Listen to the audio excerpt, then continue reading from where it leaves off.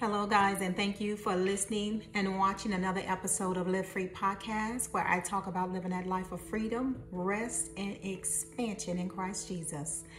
I just want to come on today to give a short word of the Lord. I won't be before you long. And as you can see from the thumbnail, we will be talking about overturning the decree of destruction, the Esther anointing.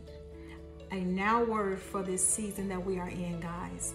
I had a three day fast and prayer for the Esther's Arise, a three day fasting and prayer. And I want to thank all who attended and turned out for this spectacular event and an awesome move of God. I thank God for people that are sold out to Him, and I thank God what you know he asks us to do we do it and we do it gladly knowing that our reward is in heaven and we came together to pray for the nations, to pray for the people all over the world. And we did some deliverance and we had some prophetic words go forth. And it was just simply amazing, nothing short of amazing. And again, thanks all who participated and who sacrificed their time and uh, sacrifice for the Lord. You know, it will not go unnoticed. God is faithful and He will not suffer the righteous to be moved. So today, I want to seal that three day Esther Arise event with this word the word, the Esther anointing, overturning the decree of destruction. This is a now word for the seasons that we are in right now in the body of Christ. Because how many of you know that Esther is a type of bride? This is what this book represents. The king represents God and Esther represents his bride. It's not about a gender thing, but it's an anointing thing. It has nothing to do with male or female, right? We're talking about the Spirit of the Lord. So Esther is going to represent that bride of Christ, that bride of Christ who God is looking, looking for those Mordecai's in this hour. Mordecai's, will you please stand up? It's not a gender, but it's the Spirit of the Lord. There are some Mordecai's, God said, that will not bow or fall back in this season of testing. God said, has raised up a new breed of a remnant church that will not compromise the truth for the sake of peace. There are some Mordecai's that will not fall back, they will not retreat, but they are forcefully advancing, right? The Hamans in the in their land, the giants in the land and all of the things, the mountains that are standing between God's people and his promise for his people.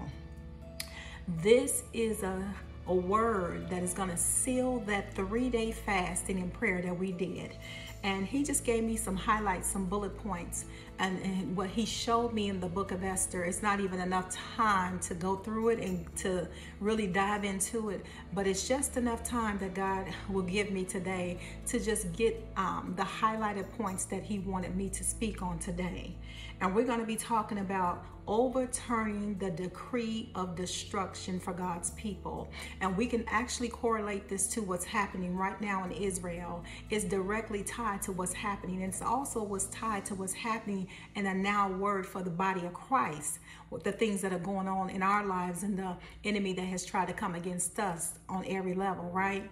So we can tie this both into um, the literal Israel and what they're going through right now with that spirit of Haman, because that's what it is. It's a spirit of Haman, and it's directly tied to this same spirit that needs to be eradicated in the name of Jesus. So, we're not talking about anything else but the Word of God today. And this is going to be our basis for every decision that we make and the way we move in this season. And God has given us the the the like the children of Issachar, right? We're given the uh, discernment to discern the seasons and the times that we are in. And I believe that this is a pivotal moment for God's church to arise. For the Esthers who have been in the background, God is pulling forth to the foreground and He's raising people up in the body of Christ, the remnant that will not compromise the truth for the sake of peace, to get along with people, to agree with people. It's not about our opinions and it's not about agreeing with people, but it's about the word of God going forth and the purpose and the plan of God being made manifest in spite of how we feel about it. So let's get into it. So the first thing that he showed me uh, in the book of Esther, I'm going to start with chapter three. And this is where we see the conspiracy of um, the plot and the plans of the enemy that had come against the Jews and come against the church, so to speak, right? Because that is a representation of the church. So we see this in chapter three, um, where God is um, talking about um, recognizing the spirit of the Agagite prince, which is Haman. He was uh, from the Amalekites, the Agagite prince. And that's what we're dealing with in this day and time. And God is dealing with that spirit right now. And I know sometimes we don't like the way things flow, and we don't like sometimes the way we only want to look at God as God as being loved. But I'm here to tell you that the body of Christ has more than one emotion. There's a holy, righteous anger that comes forth. There's a wrath. There's a God of justice that sits on the throne. We need to get to know the God of the Bible, the real God of the Bible, not that um, sweet baby Jesus that we were, you know, to raised up to believe that God is just love and He just lets everything, you know, turn His head and just let us do whatever we want to do. That is not the God that we serve, and that is not the God in this Bible. You have seen in the Bible time and time and time again where God deals with sin. He deals with the hearts of people. And let me show you this. In the book of Jeremiah, chapter 17, verse 9, it reads, The heart is deceitful above all things and desperately wicked. Who can know it? I, the Lord, search the heart and I test the mind, even to give listen to this every man according to his ways, according to the fruit of his doings. So sin will be judged, lawlessness will be judged, iniquity will be judged. And I know we think that's after we get to heaven and we stand before the white throne judgment, and that's part of it but that's not all of it. If you look from Genesis to Revelation, God has always dealt with sin, not just in heaven when we leave here, but He's always dealt with sin in the earth, whether it came by way of nature, whether it came by way of David fighting, or God telling uh, Joshua to take Jericho, whatever it is, you know, He has always dealt with this, even in the New Testament. You see the book of Revelations. Sin will not go unpunished. It will not go unnoticed, and God will not no longer turn his head and wink at sin, according to Psalms 50 and 21. Do not mistake in God's silence for his absence. You need to read that scripture. And we need to really get to know the God of the Bible and not just this fluffy lovable Jesus. Jesus is love, and love is a part of his righteous judgment. His wrath is a part of his righteous judgment. So God was saying, look at the spirit of Agagite Prince in Esther 3. And we see that the people um, who bowed down and paid homage to this spirit but one person would not bow. There's always a ram in the thicket, there's always a ram in the bush, and that was Mordecai. Mordecai refused to bow to that spirit, just like Daniel. He refused to bow. And as a result, God says, when you refuse to bow to that spirit, that antichrist, that anti God spirit, because that's what it is, and a spirit of hatred and murder against God's people, um, we see that Mordecai will not bow he will not back up, he will not retreat and um, at the king's commands. And not bowing to other gods fills the enemy with rage and anger.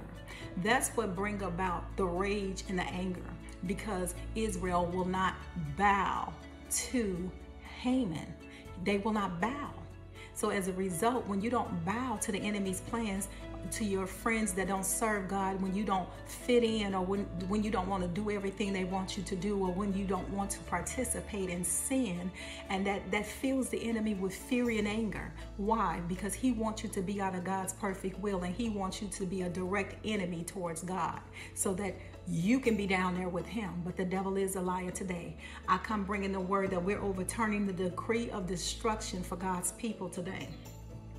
So the enemy cannot touch what God has blessed, no matter the masses and no matter the majority, is what God said. He cannot touch what God has blessed. And then he also said that there is also a strategic time that this spirit would manifest, right? They're real big on dates. They're real big on doing things big, right? So there's always a date. We see this in the first month of Nisan in the 12th year. The, they cast lots to determine the day of slaughter for the Jews, um, which was the month of Adar. Okay? So there's always a time.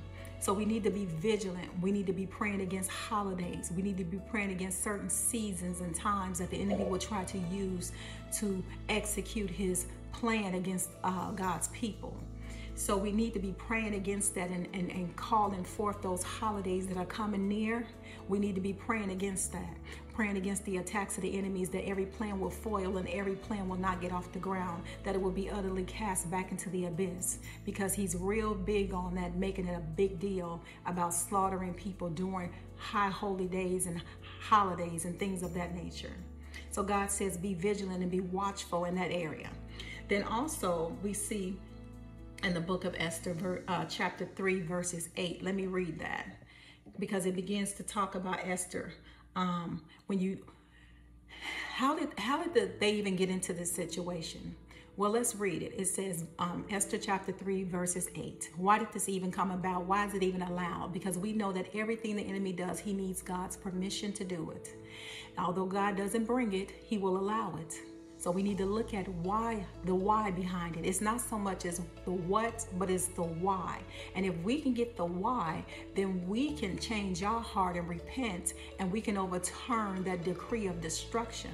Because the king was the one that gave um, Haman the permission to slaughter the Jews. We have to, we can't just overlook that part. So let's get into it chapter 3, verses 8, it says, Then Haman said to King Ahasuerus, it says, There's a certain people scattered and dispersed among the people in all the provinces of your kingdom.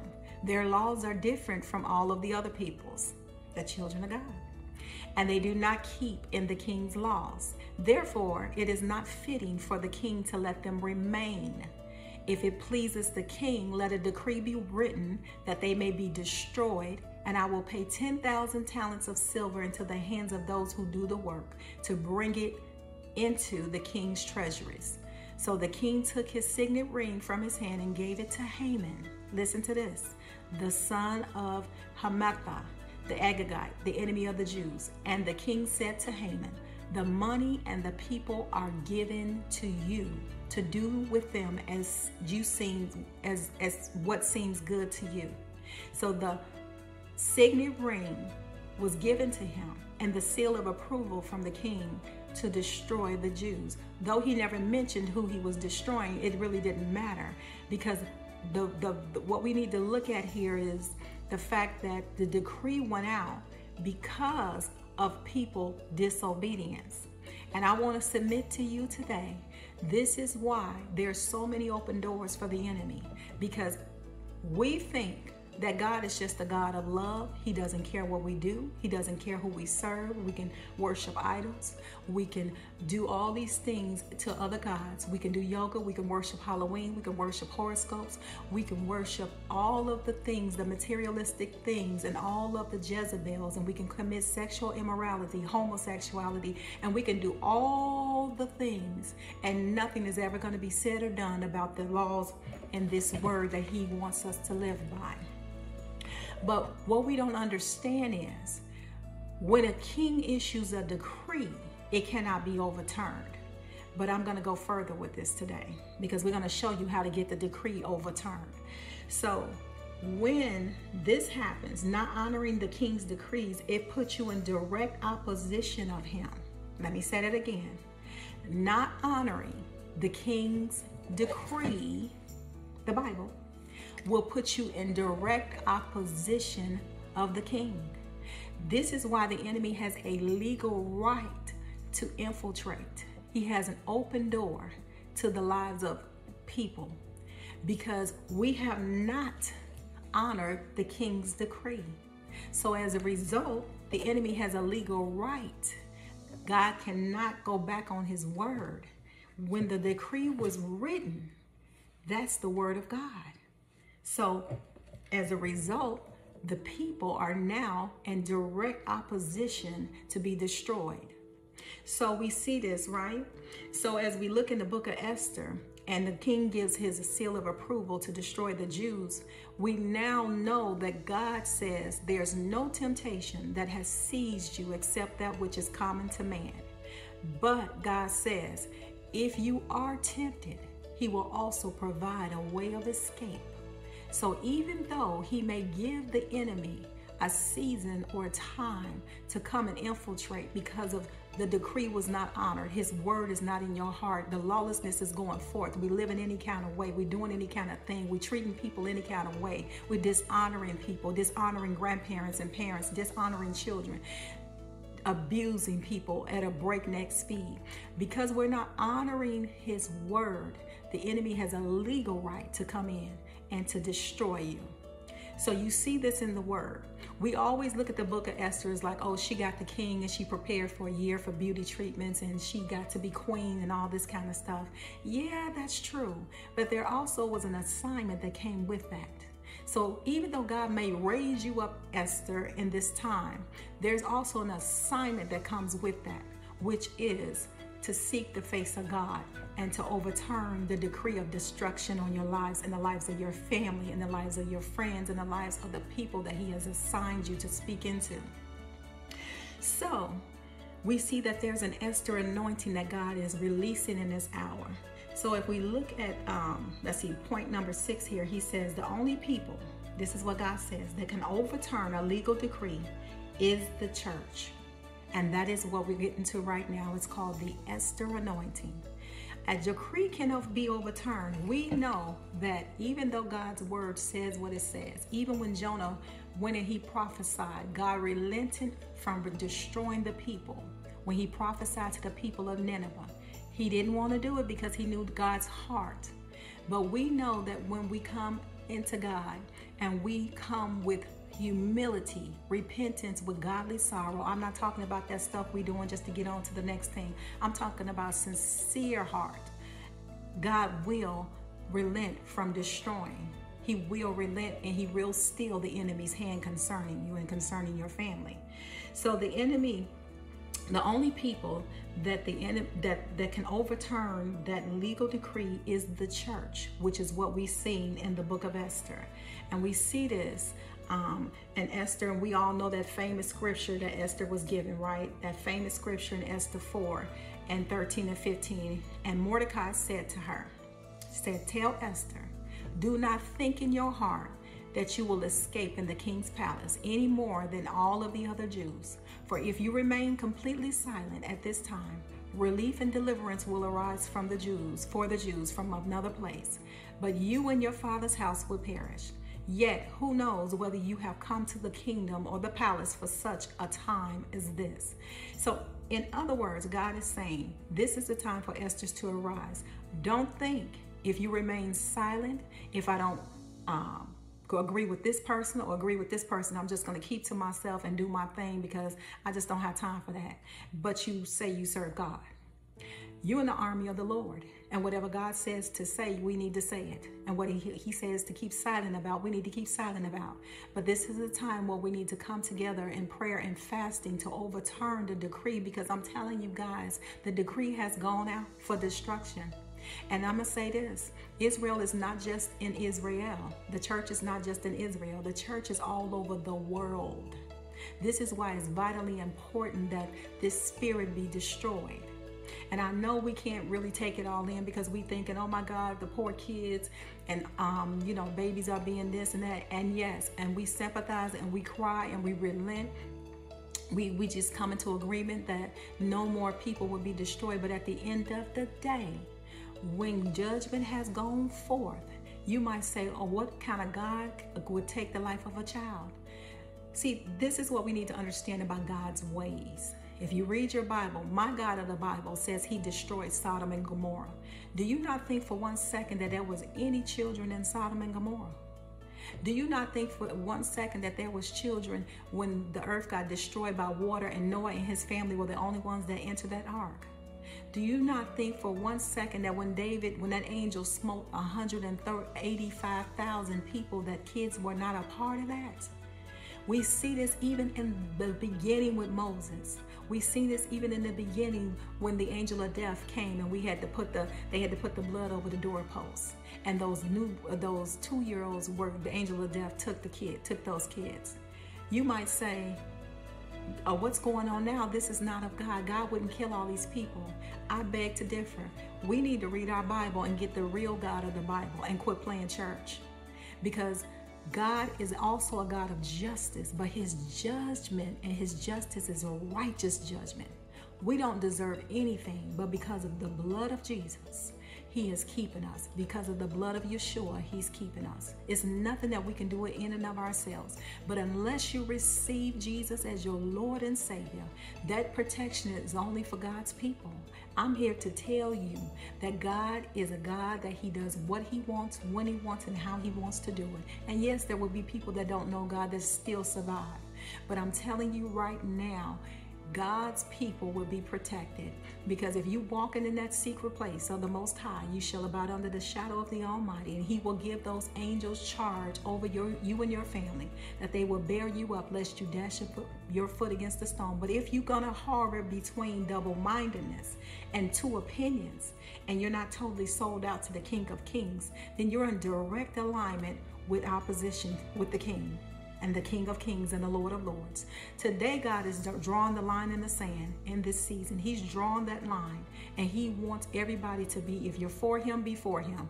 But if you're going to waver between two opinions, then go ahead and get into whatever you can get into that's demonic. And I say that because you cannot serve God and man. You're going to have to choose this day whom you will serve. No longer will you harbor between two opinions concerning the kingdom of God. And we have a hard time swallowing the way God does things, but He's God. We don't get to tell Him what to do. We don't get to tell Him how to do it and who to kill and, and who to uh, sweep justice on, judgment on and who not. We don't get to do that. We're the creation. We are submitted to the Creator. So God is saying in this season that we can overturn a decree by prayer, by fasting.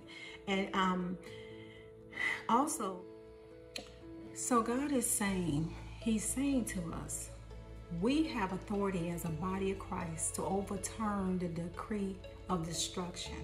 We have that authority. So today he's saying, Will the Esthers arise? Will you sacrifice and fast? Will you sacrifice and pray for the nations? Will you sacrifice and pray for the people that are suffering? Will you sacrifice and pray for the hedge to be made manifest in this nation and all over the world to the nations of the world? So we see that in Esther 8 and verse 5 that Esther found favor with the king. And God says that the bride will always find favor with the king. We always have an advantage. We have a prophetic advantage. We have the blood of Jesus. We have all heaven backing us. We always have an advantage. We always. So we know that when we come to God with our whole heart, repenting with godly sorrow and fasting, we know that the Bible says, if my people who are called by my name will humble themselves, seek my face, turn from their wicked ways, and turn from their wickedness, then I will hear from heaven and heal their land. There's always a way of escape that God will provide for the for the church. The church always have an advantage. We are part of the, the body of Christ, the kingdom of God. So we see this in Esther 8 that she found favor with the king. And then she also requested permission to annihilate all the forces of uh, the enemy, right? All the assaults that came against God's people of the Jews. She had authority and favor with God. Why? Because we're part of the body of Christ. We're part of the kingdom of God. And we always come first. We always have an advantage. We have a prophetic advantage. So we even see that even after the king gave Esther favor, she then even asked for Haman's 10 sons to be hung on the gallows in, in, in Esther 9. We see that, you know, when we read Esther 9, that she requested it and the king gave her that. And even after the king gave her Haman's 10 sons, see, it's not even just about the spirit of Haman, but it's about his 10 sons as well. So even after the king gave her favor, after that, he then said, What else can I do for you? See, God doesn't want to just stop with one spirit.